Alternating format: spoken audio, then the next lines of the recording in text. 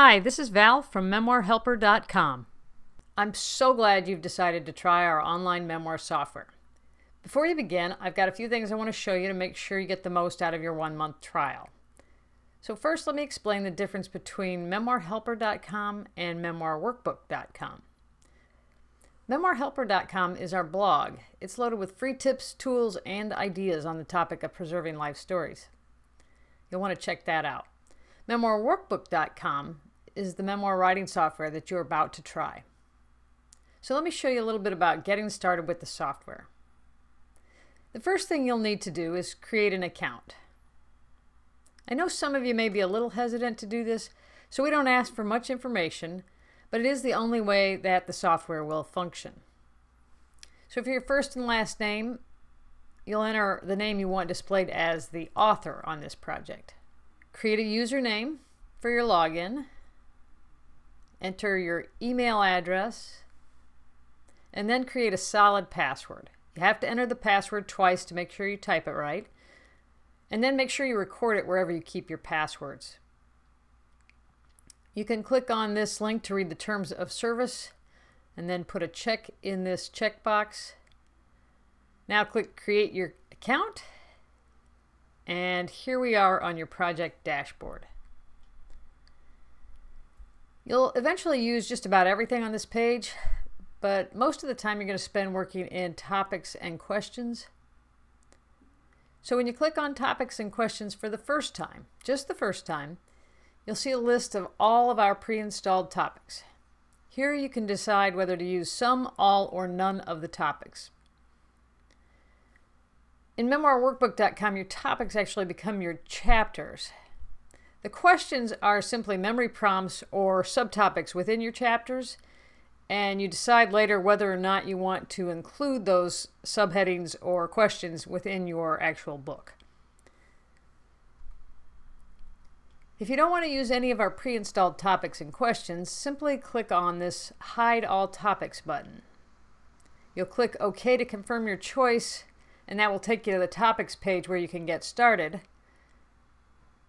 We'll get to that after I go through the other options on this initial setup. If you think you would like to use some of our topics and questions, but don't want to take the time to decide right now, you'll just click the checkbox next to Select All, make sure everything's selected, and then click Use Selected Topics and Questions. You'll have to click OK to confirm that, and then you'll be taken to the topics page. So the last option on this page is to look through this list of topics and choose the ones you wish to include. So when you put a check next to any topic, it automatically selects all of our pre-installed questions for that topic. However, you can choose which ones to include by clicking View Select Questions next to each topic name. And then you'll see a list of questions and you can unselect any that you do not wish to include in your project.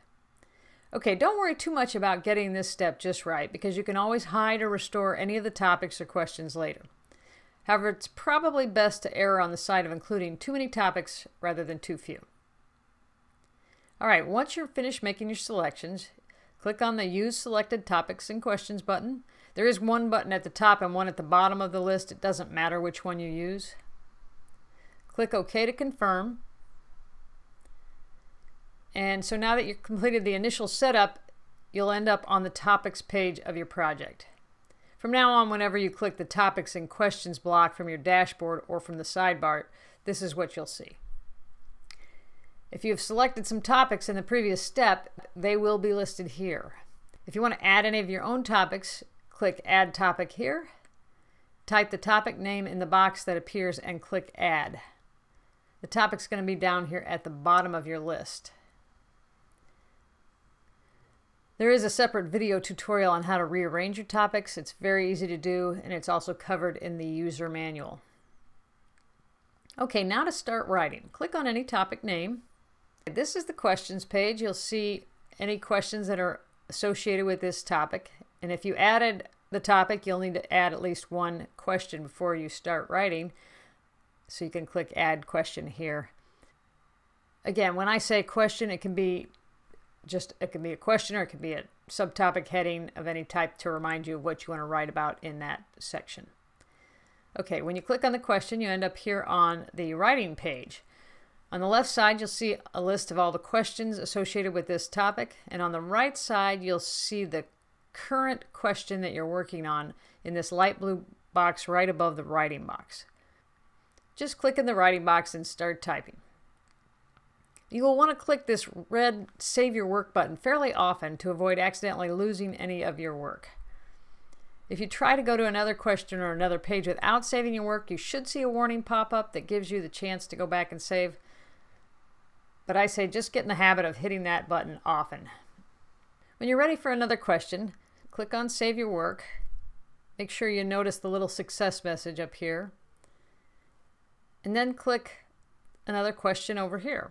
You'll notice now that question is above the writing box. And you carry on this way until you're ready to switch topics or end for the day. If you want to switch topics, click on topics here or over in the sidebar. Or you can click home to get back to your project dashboard. Anytime you wish to return to your project, you can click right here on the last saved answer link You'll also find this above the blocks on your project dashboard, and that'll take you right back to where you left off with your writing. Okay, that should get you started, but I encourage you to check out the user manual and the rest of the tutorials when you have time. So go ahead now and create your account, and don't forget to check your email for your welcome kit. Best of luck, and don't hesitate to reach out to us if there's anything you need. Thanks.